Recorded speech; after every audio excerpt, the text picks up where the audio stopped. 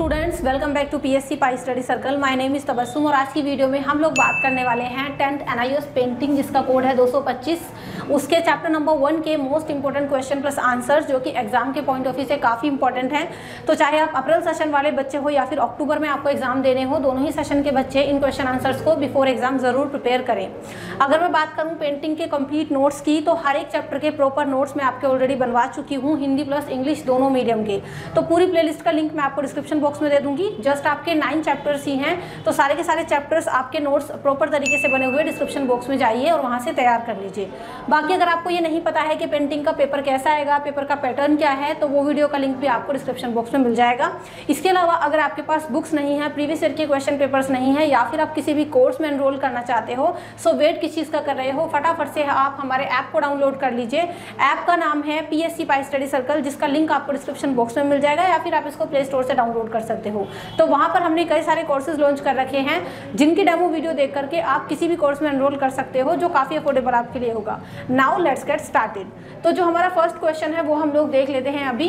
ठीक है? तो चैप्टर का जो नाम है, पहले आप वो देखिए चैप्टर का नाम है हमारा तीन हज़ार ईसा पूर्व से 600 ईस्वी तक। कला का इतिहास और मूल्यांकन। तो इस टाइम पीरियड के बीच में जो कला का इतिहास और मूल्यांकन रहा, उसके बारे में बेसिकली इस चैप्टर के अंदर है, ठीक है? तो प्रॉपर नोट्स की वीडियो आपको डिस्क्रिप्शन बॉक्स में मिल जाएगी, वहाँ से आप प्रॉपर नोट्स भी बना सकते हैं, क्योंकि यहाँ पर हम लोग डिस्कस करने वाले हैं इसके इंपॉर्टेंट क्वेश्चन प्लस आंसर्स तो देखिए, जो हमारा फ़र्स्ट क्वेश्चन है, वो आपके सामने है। पहला क्वेश्चन है, सिंधु घाटी सभ्यता के कार्यों का संक्षेप में वर्णन करना है। गैस अगर हम बात करें सिंधु घाटी के बारे में तो यहाँ से 90 परसेंट आपका एक क्वेश्चन एग्ज़ाम में ज़रूर पूछा जाता है। ठीक है तो इस क्वेश्चन को आप बहुत ही ज़्यादा ध्यान से देखिए, देखिएगा। सिंधु घाटी सभ्यता के कार्य बताने आपको। कि सिंधु घाटी सभ्यता के कार्य क्या थे? ठीक है वर्क्स बताने आपको। सिंधु घाटी सभ्यता भारत की सबसे प्राचीन सभ्यता है, सबसे पुरानी सभ्यता है। पहले ऐसा अनुमान लगाया जाता था कि वैदिक सभ्यता ही भारत की सबसे पुरानी सभ्यता है। पहले किसको माना जाता था? वैदिक सभ्यता को।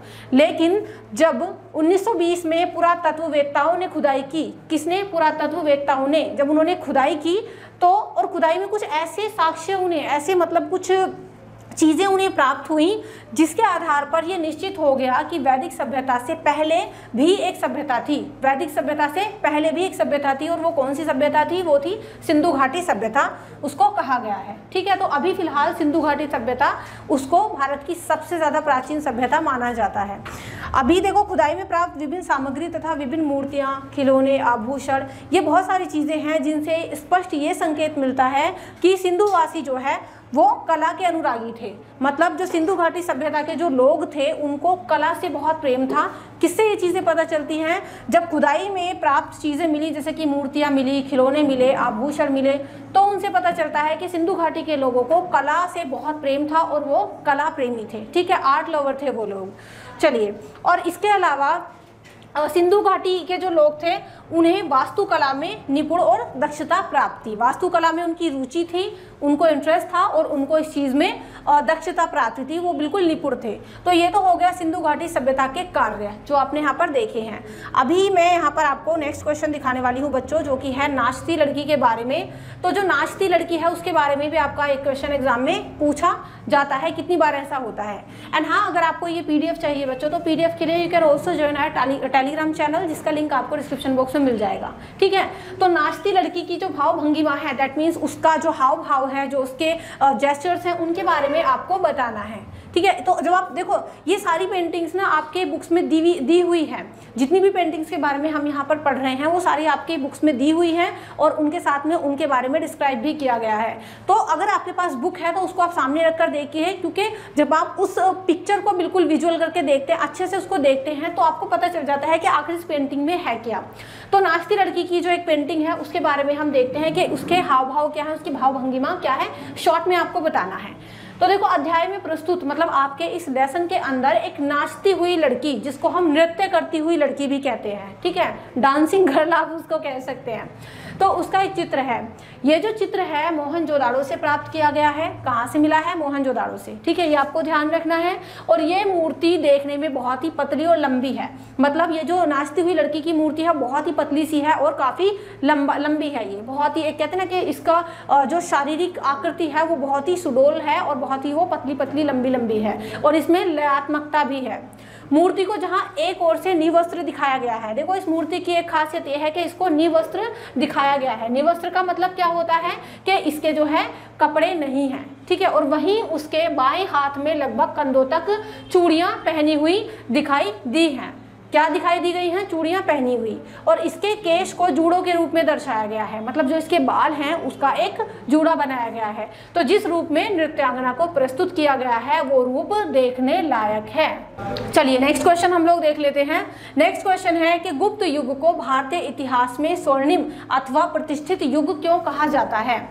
अब अगर हम गुप्त युग की बात करें तो उसको सोने का युग भी कहा जाता है, स्वर्ण युग भी कहा जाता है। तो हमारे भारत के इतिहास में गुप्त युग को स्वर्णिम अथवा प्रतिष्ठित मतलब बहुत ही अच्छा युग क्यों माना जाता है, उसको स्वर्ण युग क्यों कहा जाता है? देखो, इसका आंसर क्या है? कुषाण साम्राज्य के पतन के बाद। मतलब जब कुषाण साम्राज्य का पतन हो गया डिक्लाइन हो गया तो उसके बाद जिस नए राजवंशों ने भारत में अपनी सत्ता जमाई थी, जिस जिस नए राजवंशों ने भारत में अपना अधिकार जमाया था, जिन्होंने यहाँ पर शासन किया था, उसे इतिहास में गुप्त वंश के नाम से जाना जाता है। किस नाम से जाना जाता है? गुप्त वंश के नाम से जाना जाता है।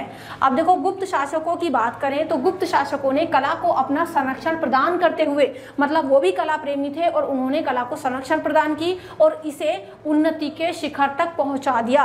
दैट मीन्स गुप्त युग में कला को एक नई ऊंचाई मिली और एक नई पहचान मिली। तो गुप्त काल में, यानी उस अवधि में मूर्ति कला, चित्रकला, वास्तुकला और संगीत कला, इनका अभूतपूर्ण विकास हुआ। काफ़ी अच्छा खासा इनको प्रोग्रेस मिला। बड़ी संख्या में देवी देवताओं की मूर्तियाँ बनाई गई हैं गुप्त काल में, ठीक है? जिनका स्थान अपनी सुंदरता के लिए विश्व के इतिहास में अद्वितीय है, जिनका कोई मुकाबला नहीं है। मतलब गुप्त काल में इतनी सारी देवी देवताओं की सुंदर सुंदर खूबसूरत मूर्तियाँ बनाई गई, जिनका जो है, बहुत ही नाम है अपनी जगह पर, अपना बहुत ही जगह है इतिहास में इनकी। गुप्त काल में बौद्ध बुद्ध एवं बौद्धि सत्वों के अलावा कौन कौन थे? वैष्णव थे, शैव, जैन इत्यादि। ये सारे संप्रदाय की भी मूर्तियाँ बनाई गई। ठीक है तो इन चीज़ों की मूर्तियाँ भी गुप्त काल में बनाई गई और संभवतः उपयुक्त व्यक्त उल्लेखनीय विशेषताओं के आधार पर। और जितनी भी ये विशेषताएँ हमने देखी हैं इनके आधार पर ही गुप्त काल को प्राचीन भारतीय इतिहास का स्वर्णिम युग कहा जाता है मतलब सोने का युग कहा जाता है। काफ़ी अच्छा टाइम पीरियड इसको माना जाता है।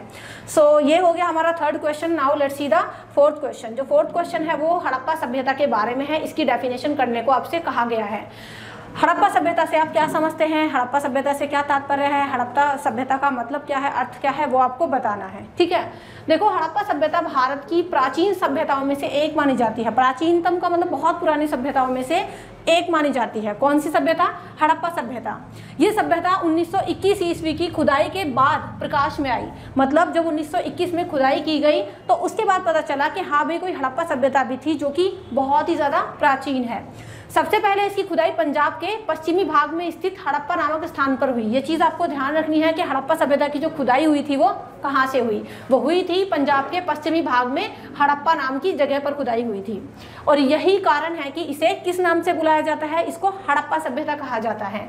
इसके बाद मतलब कालांतर का मतलब इसके थोड़े टाइम बाद, जैसे कि टाइम पीरियड बीतता गया, जब इसकी खुदाई सिंधु नदी के समीप मोहन जोदड़ो में हुई मतलब इसके बाद फिर से इसकी खुदाई हुई और कहाँ हुई? सिंधु नदी के बराबर में मोहन जोदाड़ो में हुई, तब इसे फिर सिंधु सभ्यता भी कहा गया। दैट मीन्स जो हड़प्पा सभ्यता है और जो सिंधु सभ्यता है, वो एक ही सभ्यता है, दोनों का नाम, दोनों का मतलब एक ही है। चलिए, आगे बढ़ लेते हैं। नेक्स्ट क्वेश्चन है, सिंधु सभ्यता की विशेषताओं के बारे में आपको बताना है। दैट मीन्स हड़प्पा सभ्यता की विशेषताएँ आपको यहाँ पर बतानी है। तो देखो, सिंधु सभ्यता भारत की एक बहुत ही प्राचीन सभ्यता है। हमने ऊपर भी पढ़ ली है ये चीज़, जिसका पता खुदाइयों के बाद चला। जैसे जैसे खुदाइयाँ होती गई, उसके बाद पता चला कि जो हड़प्पा सभ्यता है दैट मीन्स जो सिंधु सभ्यता है, वो बहुत ही पुरानी सभ्यता है। ठीक है? उत्खनन में ही प्राप्त अवशेषों, जैसे कि मूर्तियों, मोहरों, बर्तनों, आभूषणों, इन चीज़ों को देखकर पता चलता है कि ये जो सिंधु घाटी के लोग थे, ये कला कौशल में दक्ष थे मतलब पूरे एक्सपर्ट थे ये लोग, कला प्रेमी थे, कला कौशल में एक्सपर्ट थे, मूर्तियाँ बनाने में ये लोग बिल्कुल निपुण थे। विशेषकर मूर्तियों की जो सजीवता है और स्वाभाविकता, वो बड़ी अनुकरणीय है। मतलब सिंधु घाटी सभ्यता से जितनी मूर्तियाँ प्राप्त हुई हैं वो अपने आप में क्या है? वो अपने आप में ऐसी लगती है, बिल्कुल जैसे सजीव हो, बिल्कुल स्वाभाविक हो। तो इससे पता चलता है कि सिंधु घाटी सभ्यता के जो लोग थे, वो बहुत ही कला के प्रेमी थे। चलिए नेक्स्ट क्वेश्चन देख लेते हैं। क्वेश्चन नंबर सिक्स है कि कला के क्षेत्र में अशोक के योगदान का वर्णन कीजिए। मतलब जो अशोक थे, कला के क्षेत्र में उन्होंने किस तरीके से अपना कॉन्ट्रीब्यूशन दिया, किस तरीके से योगदान दिया? अब अशोक के बारे में बात करें तो अशोक को मौर्य वंश के महानतम शासकों में से एक माना जाता है। ठीक है? अशोक कौन थे? मौर्य वंश के बहुत ही बड़े बड़े शासकों में से एक थे वो, और वो कला प्रेमी शासक थे। ये पॉइंट आपको बहुत ध्यान रखना है। अशोक बहुत ही ज़्यादा कला के प्रेमी थे। इसी कारण उसने अपने शासनकाल में बहुत सारे कलात्मक निर्माण कार्य किए। भाई, कला के प्रेमी थे तो जब उनका टाइम पीरियड चला अशोक का, जब उन्होंने शासन किया तो बहुत सारे ऐसे काम किए, जिससे कला को और ज़्यादा प्रोत्साहन मिला और कलात्मक निर्माण उन्होंने काम किए। इसके अलावा अशोक ने अपने शासनकाल में बहुत सारे स्तूपों और स्मारकों का निर्माण कराया। अशोक अपने स्तूपों और स्मारकों के लिए भी बहुत ही फ़ेमस है। तो उन्होंने कई सारे स्तूपों और स्मारकों का निर्माण कराया था। सारनाथ की जो सिंह शीश स्तंभ है, वो अशोक की कलाकृति का ही सच्चा उदाहरण है। आपने देखा होगा, सारनाथ की जो शीर्ष सिंह है मतलब दिखता है, उनका शीर्ष दिखते हैं, वो अशोक की ही एक कलाकृति का सच्चा उदाहरण माना जाता है। पशु पक्षी, इसके अलावा लता पुष्प की अनुकृतियाँ ये संसार की सुंदर वस्तुओं में से हैं और संभवतः कला के इस अद्भुत प्रदर्शन का श्रेय अशोक को ही जाता है। तो ये कला के क्षेत्र में अशोक ने जो योगदान दिया था, अशोक जी ने, उसके बारे में हमने पढ़ा है। अभी हम लोग देख लेते हैं नेक्स्ट क्वेश्चन वीडियो अच्छी लगी हो तो लाइक और शेयर ज़रूर कर देना। पीडीएफ टेलीग्राम पर मैं शेयर कर दूँगी तो वहाँ से आप इसकी पीडीएफ को इजिली डाउनलोड कर सकते हो। एंड हाँ अगर पेपर नहीं देखा है तो पेपर का पैटर्न का लिंक भी आपको डिस्क्रिप्शन बॉक्स में मिल जाएगा। चलिए क्वेश्चन नंबर सेवन है, सारनाथ के सिंह शीर्ष पर एक संक्षिप्त टिप्पणी आपको करनी है। जो सारनाथ का सारनाथ का सिंह शीर्ष है, सिर है, उसके बारे में आपको बताना है।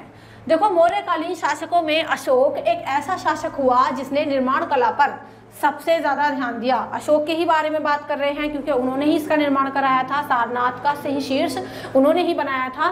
तो मौर्यकालीन शासक अशोक थे और अपने टाइम में उन्होंने इकलौते वो ऐसे शासक थे जिन्होंने निर्माण कला पर सबसे ज़्यादा ध्यान दिया था, ठीक है? उसने अनेक स्तंभों, स्तूपों, इनका निर्माण करवाया था और उसके द्वारा निर्मित स्तंभों में जो सारनाथ का स्तंभ है, वो सबसे ज़्यादा फ़ेमस माना जाता है और वो सबसे ज़्यादा उसकी तारीफ़ की जाती है एडमायर किया जाता है उसको। इस स्तंभ को अशोक ने तीसरी शताब्दी ईसा पूर्व में, कब बनाया था देखो? तीसरी शताब्दी ईसा पूर्व में सारनाथ के हिरण पार्क में मृगा दवा में स्थापित किया था। जिसे 1905 ईस्वी में पुरातत्व सर्वेक्षण विभाग ने खोदकर फिर बाहर निकाल लिया था। दैट मीन्स कब इसका निर्माण कराया गया था? 1905 ईस्वी में इसको बाहर निकाल लिया गया था। इस स्तंभ शीर्ष के फलक पर चार सजीव सिंह जो है पीठ सटाए हुए चारों दिशाओं की ओर मुँह किए बैठे हैं। आपने जो है सिक्के जो होते हैं जो इंडियन करेंसी है हमारी उस पर भी देखे होंगे। कि सारनाथ का जो आ, मतलब शीर्ष है वो दिखाई देता है। ठीक है? अब इसके अलावा क्या है? कि जो है, सटाए हुए चारों दिशाओं की ओर मुँह किए बैठे हैं। सिंहों के मस्तक पर महाचर्म चक्र भी स्थापित किया गया है, जिसमें मूलतः बत्तीस तिलियाँ दिखाई गई हैं। कितनी तिलियाँ दिखाई गई हैं? बत्तीस तिलियाँ हैं। और ये जो है, ये शक्ति के ऊपर धर्म की विजय का प्रतीक है। मतलब धर्म विजय प्रतीत हो रहा है यहाँ पर पर आकर।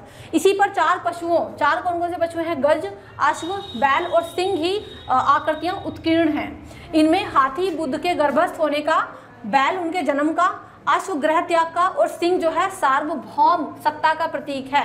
मतलब जिन चार पशुओं की इस पर दिखाया गया है जिनको, उनके बारे में भी ये बताया गया है कि कौन किसका प्रतीक है। जो चार पशु हैं वो आपको ध्यान रखने हैं। पहले तो गज गज आपको बताया किसको बोलते हैं? गज बोलते हैं हाथी को, अश्व, ठीक है, अश्व बोलते हैं घोड़े को, बैल है, बैल और इसके अलावा सिंह।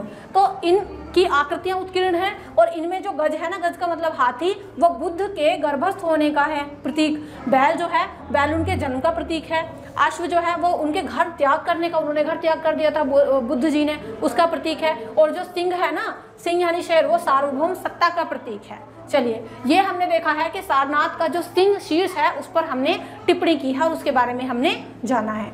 नेक्स्ट क्वेश्चन हम लोग देख लेते हैं। नेक्स्ट क्वेश्चन है, सांची के महास्तूप की विशेषताओं का वर्णन आपको करना है।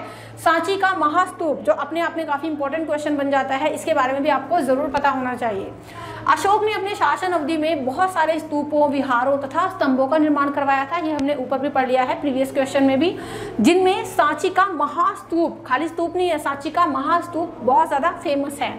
यूँ तो इस महास्तूप का निर्माण का जो काम था ना, वो अशोक ने प्रारंभ किया, लेकिन इसे जो अंतिम रूप दिया, काम शुरू किया किसने? अशोक ने काम शुरू किया किसका? सांची के महास्तूप का। लेकिन जो इसको अंतिम रूप दिया था, वो शुंग शासकों ने प्रदान किया था। मतलब इसको फिनिश किसने किया? शुंग शासकों ने फिनिश किया। और ये स्तूप मध्य प्रदेश के रायसेन ज़िले में स्थित है। कहाँ पर स्थित है? मध्य प्रदेश के रायसेन ज़िले में।